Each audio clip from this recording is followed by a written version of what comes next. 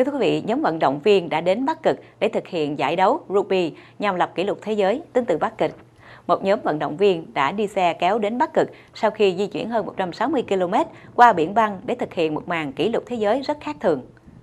Rugby là một môn thể thao hoàn toàn giống với bóng bầu dục của Hoa Kỳ. Tuy nhiên, điểm khác biệt là các vận động viên hoàn toàn không đeo nón bảo hiểm hay bất cứ loại quần áo bảo hộ nào.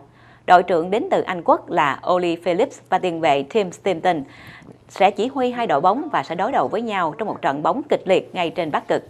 Sự kiện lập kỷ lục thế giới này nhằm mục đích gây quỹ từ thiện cho tổ chức Wooden Spoon với mục tiêu là 300.000 bảng Anh.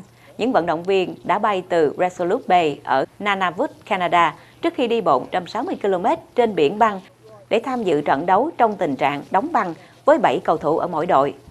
Trận đấu được diễn ra vào hôm nay ngày 29 tháng 4. Vào tháng 7 năm 2014, đội trưởng Phillips, người vô địch giải cầu thủ của năm trong năm 2009, đã hoàn thành cuộc đua thuyền buồm thế giới trong thời gian dưỡng bệnh vì chấn thương khi chơi rugby. Anh đã cưỡi con thuyền The Great Britain và hoàn thành cuộc đua dài 400.000 hải lý.